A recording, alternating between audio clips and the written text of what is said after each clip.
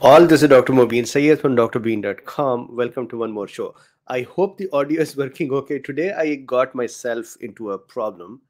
I was trying to reset the studio with some new equipment.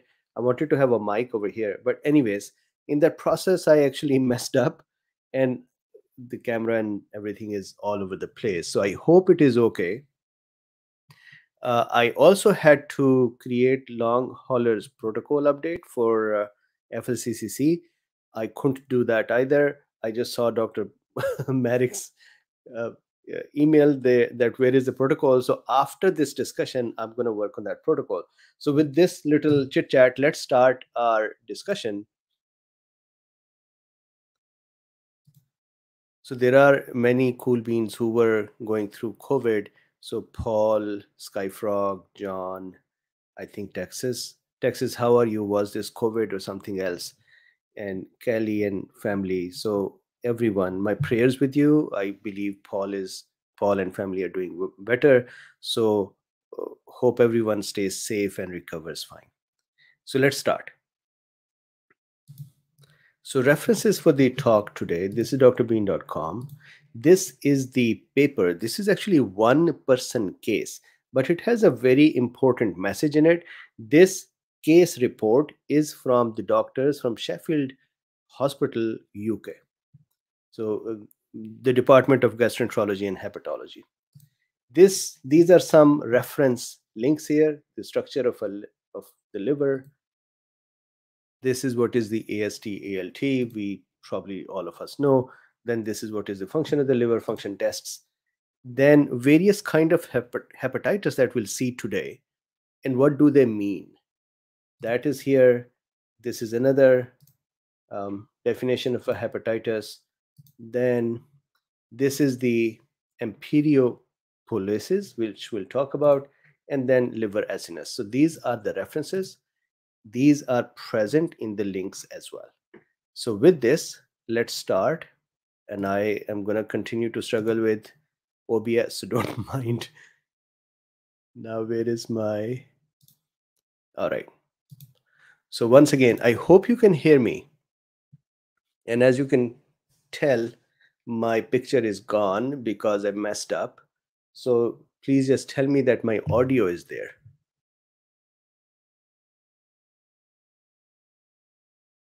Okay, sound is fine. Thank you. All right, so now let's start a discussion.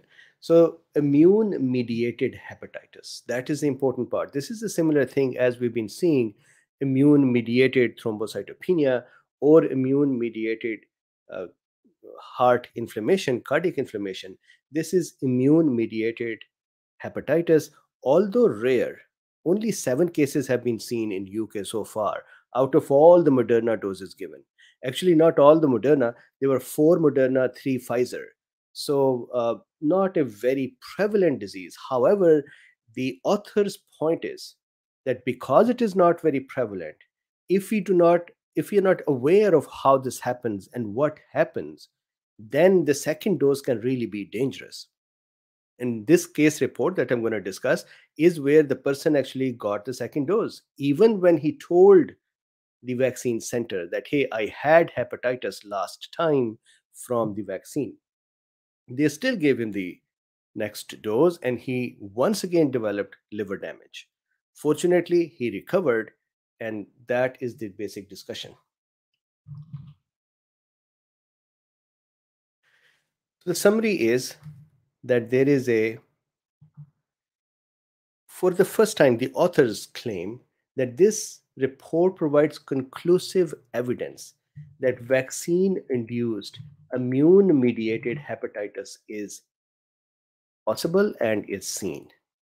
This is important they're saying this is the conclusive evidence. And, and I can actually, when you read it, you would see that after the first dose, there is hepatitis, and then the patient recovers.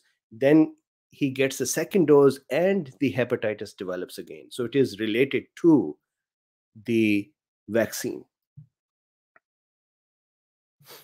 So, what are the details? So, this is it. So, we stop here. I want to quickly provide the summary. The summary is that messenger RNA based vaccines can cause autoimmune hepatitis or liver damage. And steroids are very useful in helping. Number one. Number two, the vaccine center uh, staff should know that if a person developed jaundice or liver function problems previously, then it is possible that they might develop even severe case of hepatitis with the second dose and they should be careful. So this person, now we are going in the detail. If you just wanted the summary, we're done. Detail. 47 year young man, because I'm also in this range now, I call this young, not old, previously healthy, got their first dose of Moderna vaccine on 26th April 2021. In labs soon after. So what happened was he developed jaundice and became malaise and became tired. So they did labs, and what they found was that serum bilirubin was increased. And what happens is that because liver's function is to take care of the breaking RBCs and bilirubin, and majority of that will be processed in the liver and it will be sent to GIT from where it is excreted, uh, passed out with fecal matter. Very tiny amount goes through the urine. So when the serum, when the bilirubin levels start increasing in the blood or serum, that means liver is leaking. Liver cells are leaking bilirubin. They're not able to send it to bile. Instead, it is leaking out of them in the blood. That means the cells are damaged. So this person had increased serum bilirubin level. 190 micromole, where normal is between micromole per liter, where normal is between 0 to 20. That was lots of damage. Then ALT, the liver enzymes. And maybe someday we should talk about liver and its functions and enzymes. ALT rose to increase, this is a liver enzyme, to 1048 units per liter. Normal is 10 to 49. And if you, uh, while you're looking at this test, if you look at the right side, where I have written raised IgG, immunoglobulin G levels were increased, immunoglobulin M levels were increased. So there was definitely an autoimmune component in here. So ALP was increased as well. Normal is 30 to 130, and this patient had 229. Albumin levels 41, almost in the normal range. And what were we going to expect from the liver, which is damaged? A liver, the liver main makes a lot of uh, proteins in our body. So when the liver is damaged, the proteins formation becomes disrupted. Anyways, in this stage, albumin was normal. Other than that, everything else was fine. Blood counts were normal, renal functions were normal, international ratios were normal, LFTs four years ago were done on this patient, and these were normal. No use of paracetamol, which could have caused liver damage. No alcohol intake, which could have caused acute liver damage. Nothing significant in ultrasound for CT thorax or abdomen or pelvis or MRI pancreas, meaning there was no malignancy, there was no other inflammation, there was no other cause. Similarly, they did the profile for the other viruses as well, and they found none. So all other reasons that liver damage could be occurring were ruled out. And then, of course, as they saw, that the IgG levels and IgM levels were increased, which means that there was autoimmune component or immune mediated component. And what happened? So remember this this is 30th April by 25th June, so April, May, June. So that was 30th April, so May and half of almost whole of June, two, two months. By 25th June, the patient's serum bilirubin level was kind of returning back towards normal. Their ALT was also returning back. So remember, this is still higher. So liver is still recovering imagine giving another dose at this level at this stage right so that, that is the point of the authors so let me just very quickly actually read that so we can understand that why did they make sure that this discussion was done. So give me one quick second. So if we go to the end of their paper and discussion, they say over here, number one, treatment with corticosteroid therapy appears to be favorable. Number two, we wish to highlight that immune mediated reactions from SARS-CoV-2 messenger RNA vaccines are very rare and during the COVID pandemic, the vaccination program continues to be crucial. This is their standard. They have to, I guess, write it so that nobody says this is an anti-vaccine paper. We report this case to encourage vigilance for drug-induced reactions, to raise awareness to vaccination centers to incorporate it into their routine checks. This is important that the vaccination centers should be able to ask that, hey, did you have any chest pains? Um, did you have any jaundice or tiredness or fatigue or other things? So in the routine checks before administering the second dose, long-term follow-up of identical individuals will be essential in determining the prognosis of this immune-mediated liver injury. So with this, let's go back to the discussion. So the jaundice started fading. So remember, this is two months now. Patient is still kind of improving. And then guess what? Goes back for the second dose and gets the second dose. So 6th July 2021 goes for the second dose, reports that, hey, last time I had jaundice, still gets the second dose. And guess what? Develops even a severe form of hepatitis.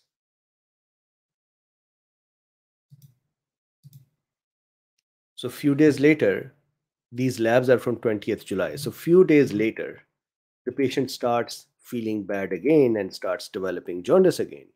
So he goes back for the uh, workup and they do labs on 20th July. Jaundice had returned. Serum bilirubin level starts increasing again more than last time now so that means the damage the the liver was poor liver was already in trouble and now you hammered it once more. So bilirubin level increased alt level increased even more than last time. And then prothrombin time increased as well normally 11 to 13 seconds it went to 18.4 so liver damage was occurring and liver functions were reducing.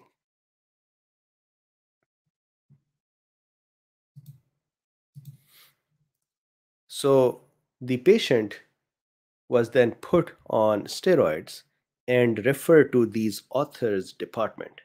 So that was the Department of Gastroenterology and Hepatology, Sheffield Teaching Hospital, UK. So there what they did was they did the liver biopsy and they looked at the damage, plus they continued the patient on prednisolone, 40 milligram per day for two weeks, and the patient became okay, was discharged, and went home and continued to recover. So let's look at the damage that they saw. So I'm once again going to go back to I always go back to myself and then let's go here. All right, so let's look at the damage. Here. So they had done a biopsy. On examination of the patient, he was alert, deeply jaundiced, with hepat hepatomegaly, that is, the liver was palpable, it was big. So when you do the liver check, you can see the border of the liver growing has grown and you can see it below the normal level.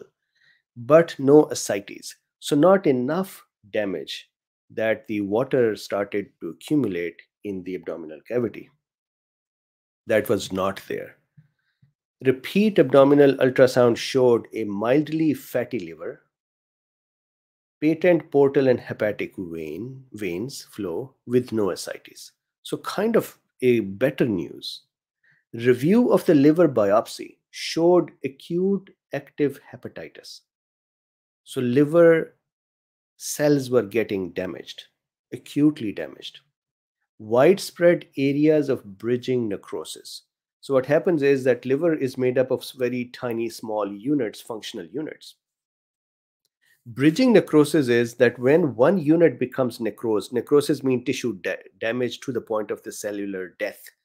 Fortunately, liver is a very decently regenerative organ. It can develop cells very quickly as long as the basement membranes are intact. So the cells were now dying these were being necrosed. And when the multiple acini or multiple functional units, imagine every unit being a house in liver. When multiple units are burnt together, then they start fusing with each other. These acini kind of merge with each other because they're damaged together.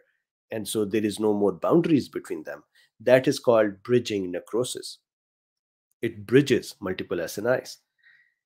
Marked interface hepatitis interface is, let me see if I can have a picture and I hope they don't. So interfaces are where there is a um, where there is a boundary between the bile and the blood system or the liver tissue and the blood system or just these areas which are at the interfaces as the name says. So there was interfaces and hepatitis there. So that means around the blood vascular system, the cells that were sitting around the blood vessels were more inflamed and damaged. Why? Because antibodies were circulating in the blood. And from there, when they would come out of the blood, they would attack whatever are the cells nearby. So the cells that are sitting at the interface, these will get damaged first. So they are saying that we saw marked interface hepatitis, lympho plasmatic infiltration, inflammation, including eosinophils. So this is interesting. The white blood cells or inflammatory system cells started coming over to have a war, and eosinophils were there. Ballooned hepatocytes. Ballooned hepatocyte mean a hepatocyte that has become so much damaged or is under attack and it starts swelling because the water is accumulating in it or its own function when it is functioning and the enzymes and those things are accumulating it starts ballooning up so ballooned hepatocytes multinucleated giant cells. We have seen this before as well. Giant cell is actually when multiple cells that are sitting next to each other they become fused.